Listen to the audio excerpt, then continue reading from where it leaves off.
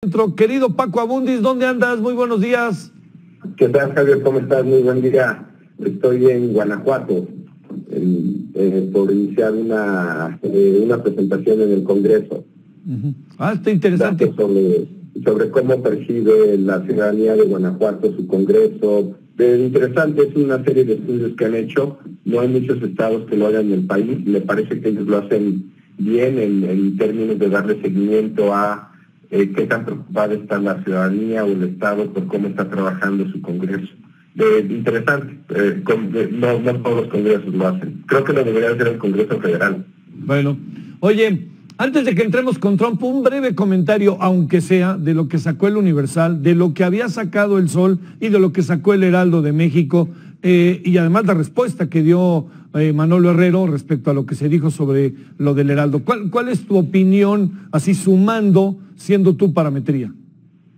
Mira, yo creo que eh, ya lo hemos mencionado durante el mes de octubre, noviembre, hay momentos de volatilidad electoral.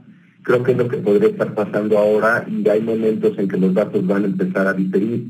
Eh, yo creo que hemos llegado a tener consensos ya muy cercanos a la, elección, o es lo que suele pasar, no solamente en México, sino en, eh, en otros países, en foros internacionales de eh, opinión pública, de análisis. Si lo vieras en una curva, al inicio de la campaña o de los periodos electorales, se ve como una nube muy dispersa de puntos y luego estos puntos se van concentrando hacia algo que se parece más al resultado electoral. Es lo que suele pasar normalmente, no solamente en México. Eh, habíamos mencionado que aquí yo creo que esos consensos los vamos a tener por ahí de mayo, junio. Eh, parece muy distinto a lo que publicó eh, Juan Manuel Herrero, gran colega, de lo que publicó el Universal, pero yo creo que es una volatilidad y vamos a empezar a diferir como ya nos pasó en octubre, en noviembre pasado. Eh, te gustaba mucho la frase de lo único que coincidimos es que diferimos. Eh, yo creo que podemos entrar a otro periodo así, pero yo para mayo, junio, yo creo que ya no deberíamos de estar tan dispersos en las mediciones, Javier. Bueno, a ver, vámonos con Trump. ¿Cómo le fue en su informe el Estado de la Unión? Oye, perdón, oye, perdón, más bien, el Estado de la Unión Viste que puso en las invitaciones en lugar de Union, puso Union con M final. Bueno, adelante Paco. Y hay, y hay quien dice que es el estado de la desunión. De la desunión, sí. Por lo, por lo dividido que está el público estadounidense. Ya, eh, yo creo que lo que te eh, dice la, el reporte de opinión pública del PIU, que es lo que te voy a mostrar, eh, comparado con lo que fue su discurso se observó un discurso muy en sintonía con los temas de preocupación de los eh, estadounidenses y en algunos temas se ve que le habló mucho más a su eh, eh, a su Grey, a, sus republicanos, en inglés se conoce como su constituency, da la impresión de que para algunos temas como migración se preocupó más por, por conservar ese público que hablar al, al público en general. El, primer dato, Javier, que me parece relevante en una encuesta que publicó CNN eh, el día de ayer, al día siguiente de, este discurso, es que 48% de los estadounidenses dijo tener una, una, opinión positiva del discurso y, y, de, y de cómo lo hizo Trump. Ese 48% está casi 10 puntos arriba del nivel de aprobación que tiene hoy Trump.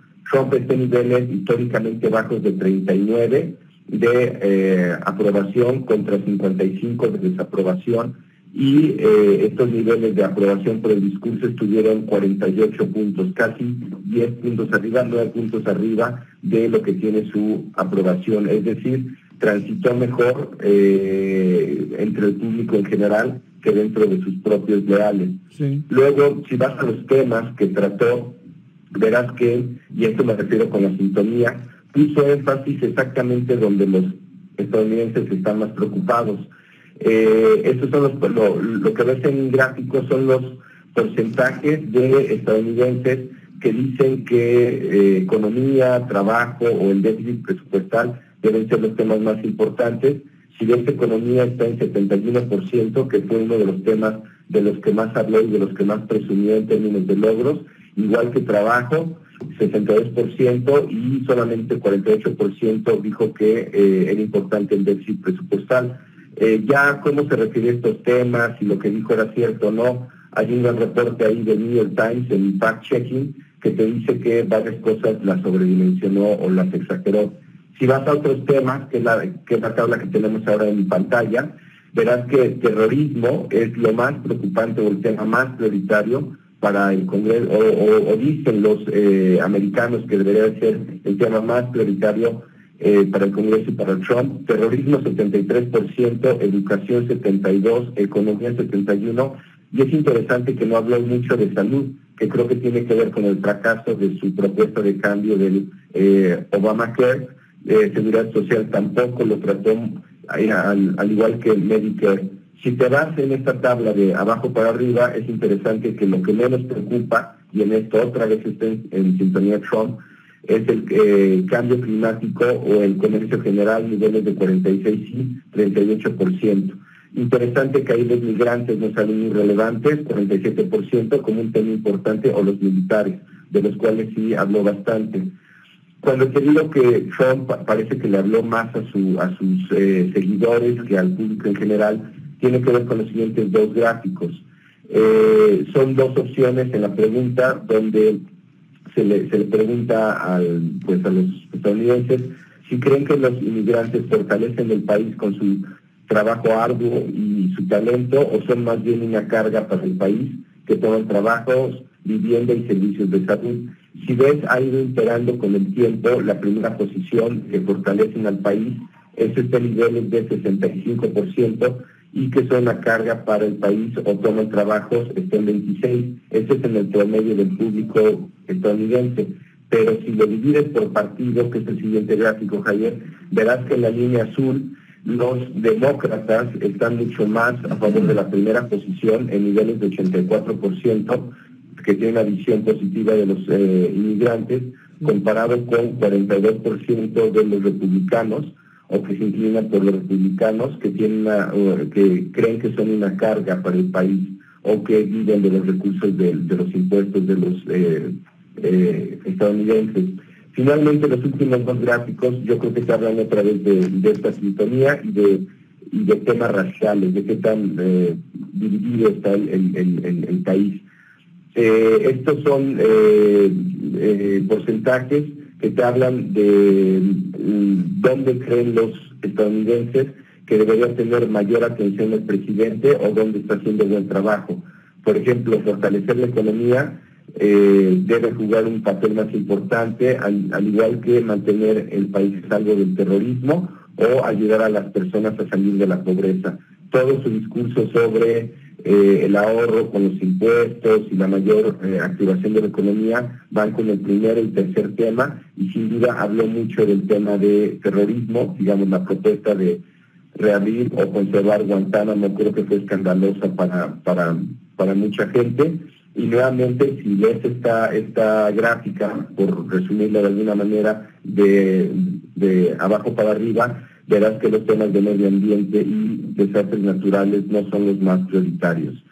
Eh, finalmente, eh, respecto a las relaciones de, eh, raciales o étnicas, como se les conoce, este es un breve comparativo de cómo se concebían con Obama y cómo se ven ahora con Trump, mientras que con Obama en noviembre del 2008 y noviembre del 2009 52 y 36% respectivamente pensaban que era mejor de ese gráfico, estos dos gráficos de la derecha, que es la evaluación durante la gestión de Trump, 46% eh, en noviembre del 16 y 60% en diciembre del 17 considera que están peor.